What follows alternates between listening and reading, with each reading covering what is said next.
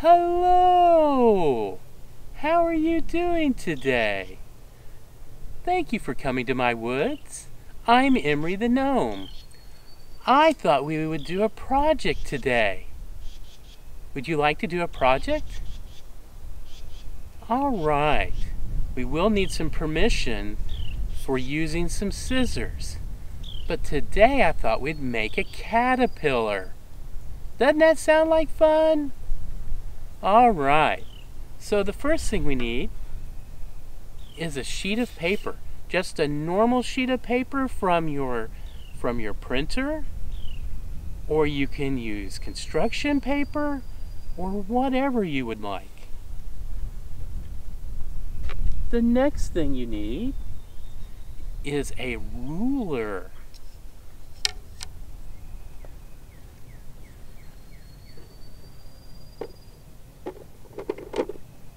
Some safety scissors. I'm using an ink pen.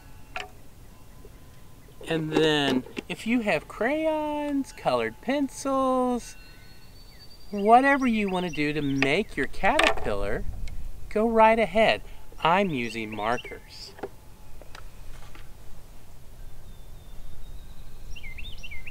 So we're going to make a caterpillar. And if you get permission from your from your parents, you can look up and see all the different types of caterpillars out there.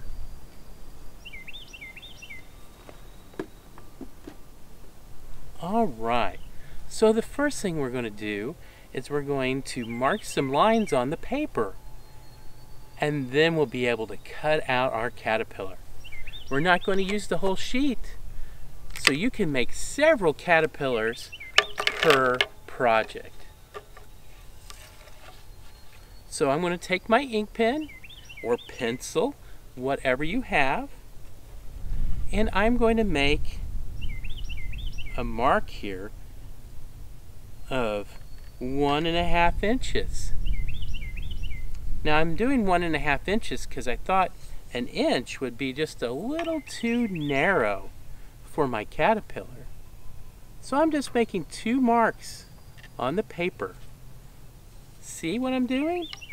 And then I take my ruler and I'm going to make a straight line. Now if it's not straight, straight, it's fine. Caterpillars come in all different types of shapes and sizes. All right, so I'm going to put my pencil away. You may need somebody to help cut your paper if you don't, if your parents or guardians don't feel like you can. So I'm going to follow the line.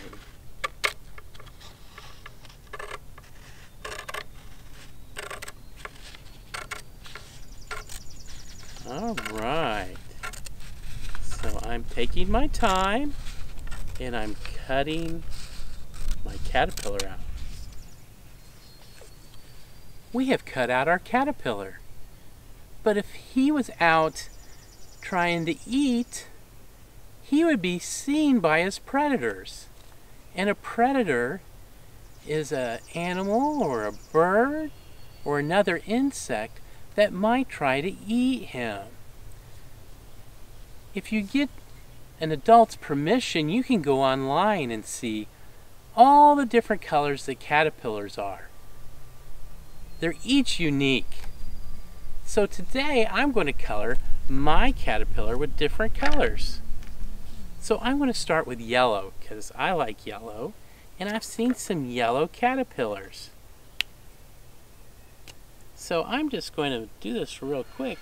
Now you can spend all the time you want to make your caterpillar just as special as you want to make him.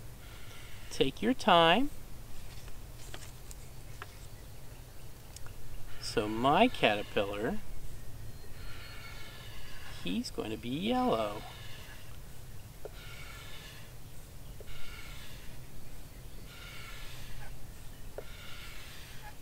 There we go. And a lot of times they have dots on their back. And the dots kind of look like eyeballs sometimes. So I'm going to give my caterpillar some dots here. The eyeballs scare off some of the predators because they think something is big and bad and staring at them that might eat them.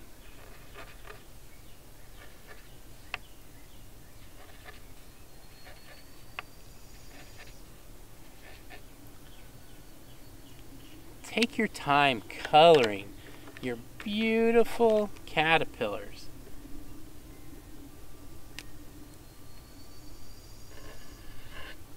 I'm going to put some circles around my my dots.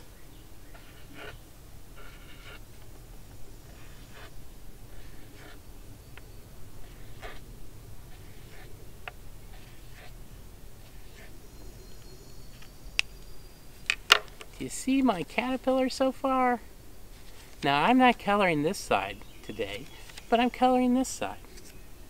I'm going to give him a green stripe because I think he needs one.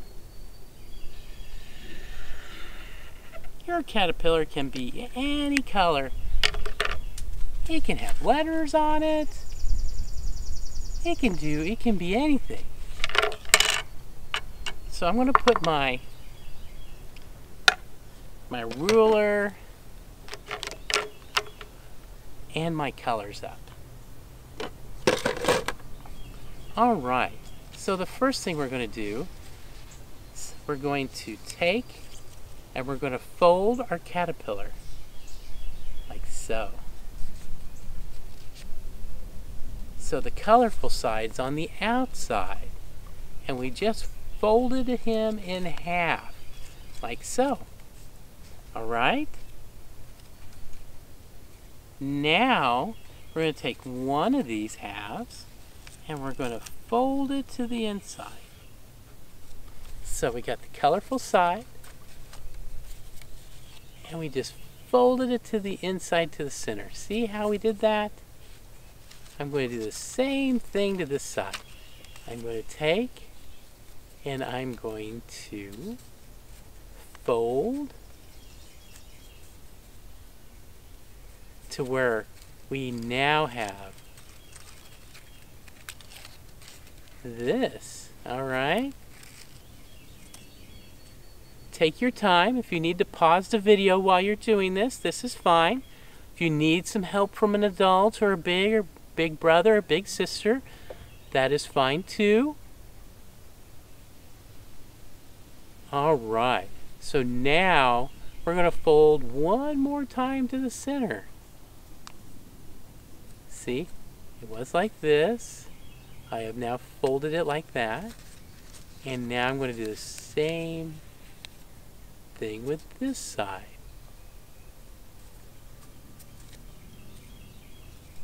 So now we folded them once to the center, again to the center, to where we now have almost a book. And we're going to fold it up to where we're just like this. All right? So the next thing we're going to do is we're going to, and let me show you on my caterpillar here.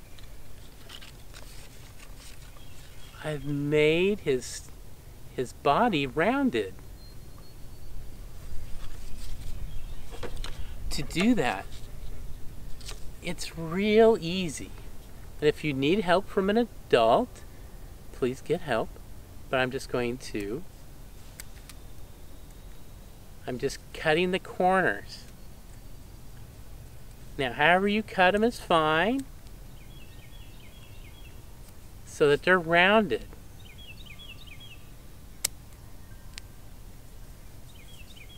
See how I rounded them? All right, I'm going to do the same thing. As long as you don't cut all the way across, you're good. So I'm going to do this. There we go. And make sure you pick up all the little pieces of paper when you're done. That'll make your adult happy. So now he's kind of kind of curved on both sides. So we're going to open him up. Just like that. You don't want to stretch him out too much. All right. So now we need to decide which side is his face. So my caterpillar is going to have a smiley face because he's happy. Everybody's happy in my woods.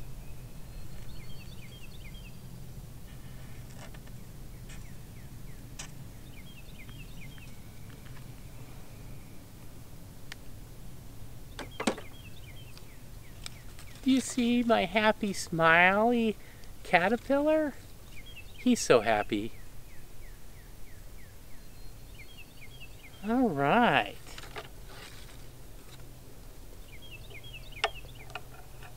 So caterpillars are very beautiful, just like they are. But they will then decide that they need to go into a pupa. So they're eating their larvae. Do you know what a larvae is? It's kind of like a baby.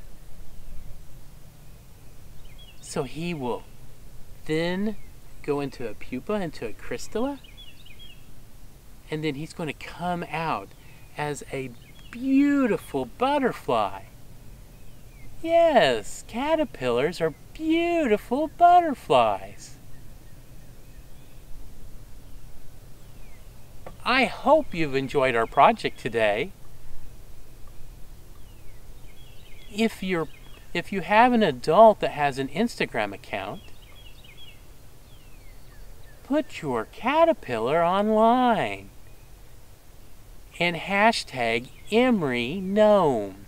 That's E M E R Y G N O M E. And that is Emery Gnome. I would love to see your caterpillar. Thank you so much for coming. And you have a good day.